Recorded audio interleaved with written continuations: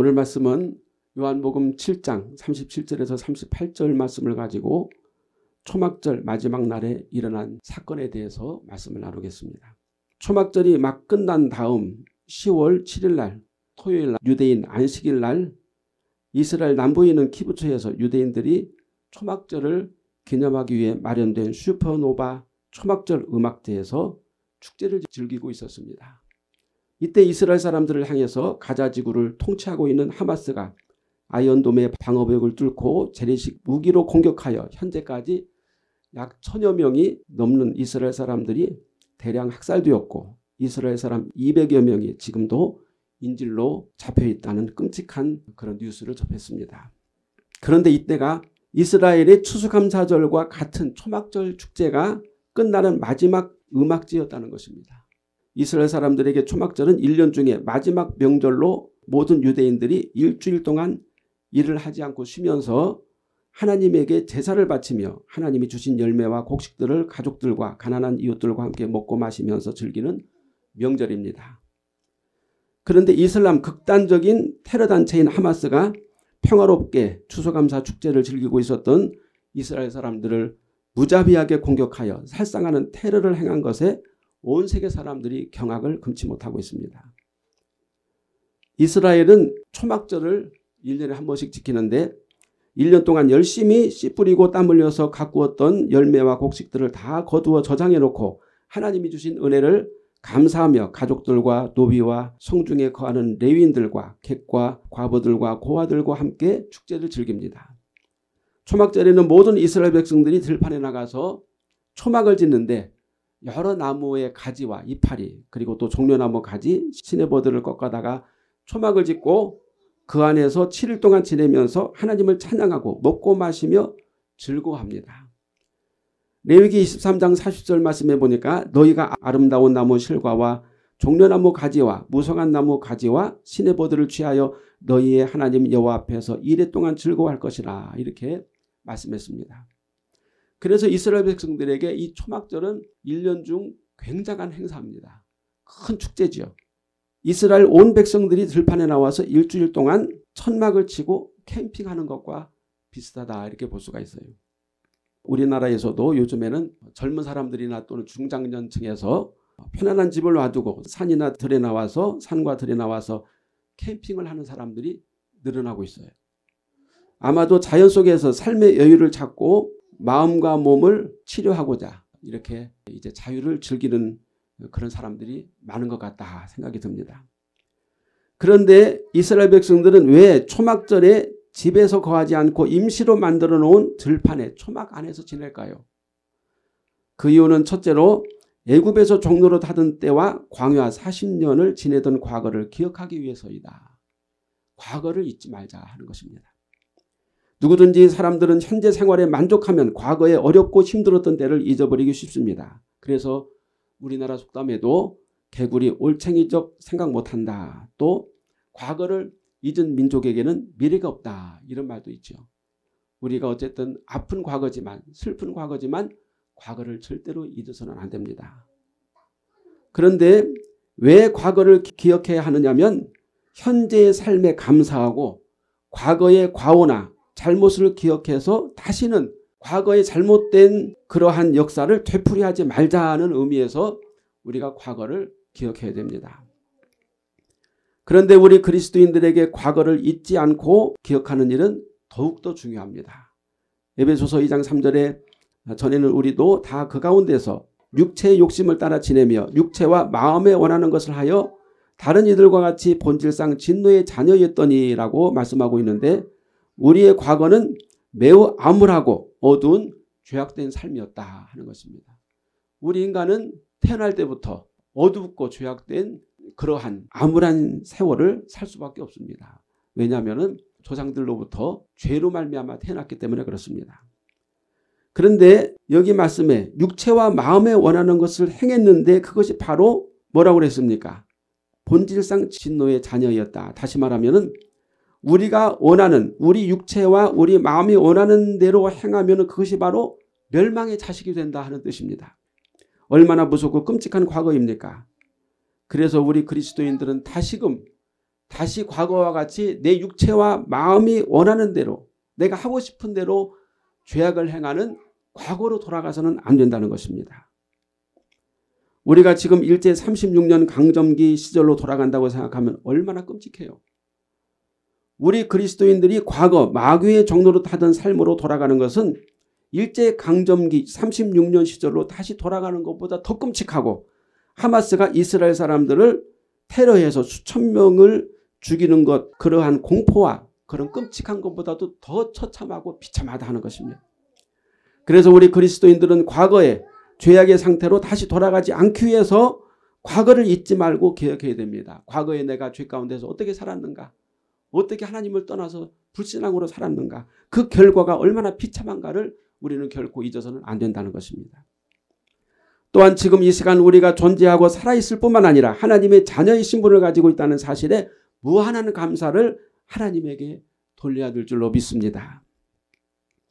이스라엘 백성들이 초막 안에 거해야 되는 두 번째 이유는 이 땅에서의 삶이 마치 초막과 같다는 사실을 깨닫기 위해서입니다. 초막절에 들판에다가 임시로 지은 초막은 일주일이 지나면 어떻게 됩니까?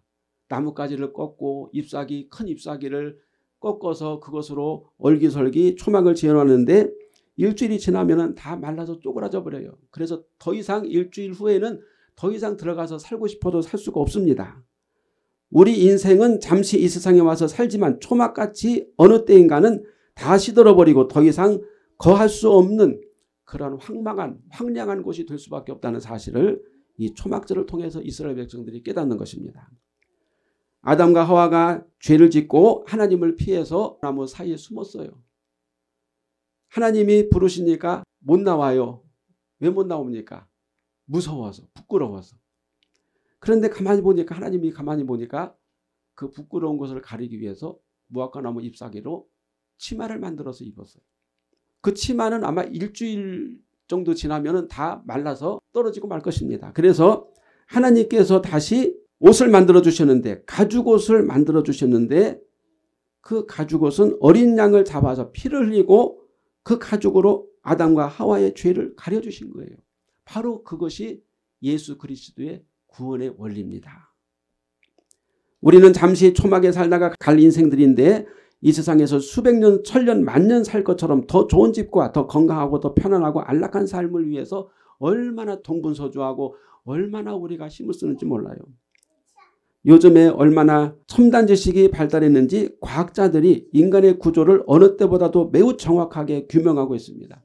유튜브에 보면은 인간의 그 본질에 대해서 과학자들이 기가 막힌 이제 이야기를 합니다. 인간은 매우 작은 원자가 서로 뭉쳐서 몸을 이루고 있는데 또 그 원자들이 온 세상 만물을 이루고 있다고 하는 사실을 과학자들이 밝혀냈어요. 그 인간의 지식으로 인간의 머리로 밝혀냈습니다.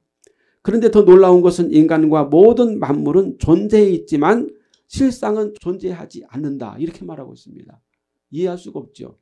지금 눈에 보이는데 존재해 있는데 실상 깊이 들어가면 존재하지 않는다 그 말입니다. 왜냐하면 알 수 없는 힘이 원자를 서로 끌어당겨서 지금은 인간이나 모든 만물이 형상으로 보여지지만 그 당기는 힘이 없어지는 날 인간과 모든 만물은 언제든지 다 사라져서 먼지처럼 없어지게 될 것이다. 이렇게 과학자들이 그분들이 뭐 예수님을 믿고 하나님을 믿는 사람들이 아니에요. 그냥 평범한 무신론자 과학자들이 이렇게 말하고 있어요.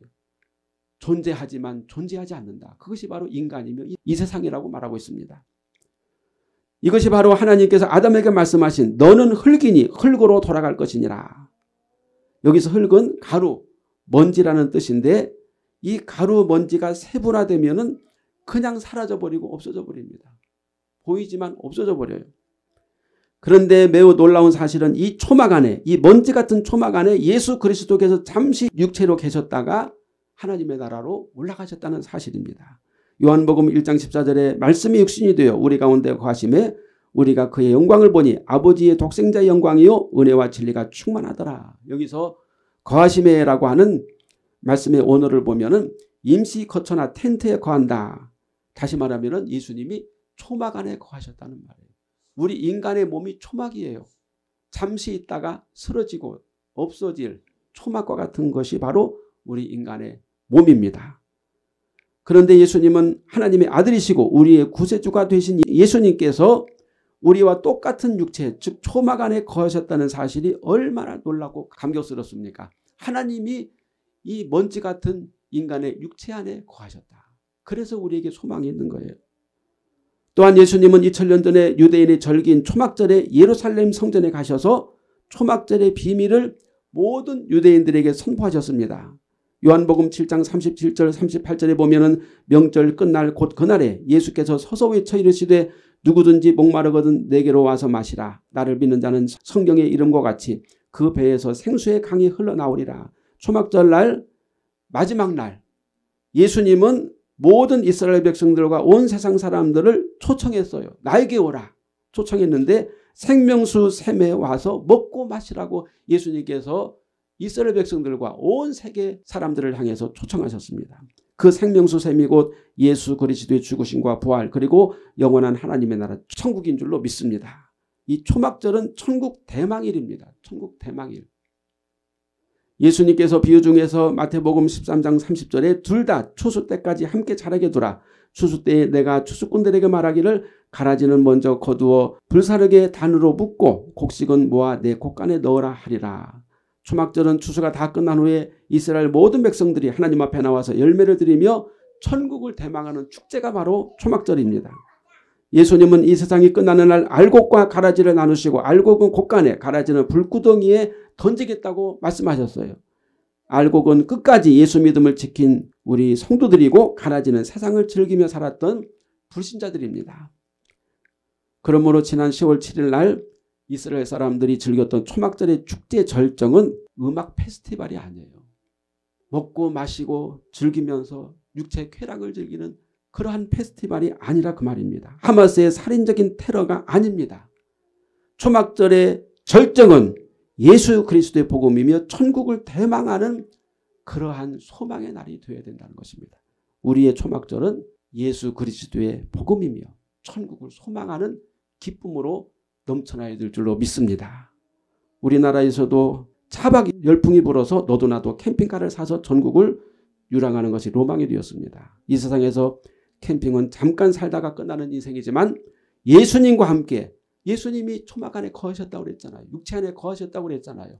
예수님과 함께 우리가 육체 안에 거할 때 우리는 잠깐 살다가 끝나는 초막 인생이 아니라 영원한 하나님의 나라의 기쁨과 영광을 누리게 될 줄로 믿습니다.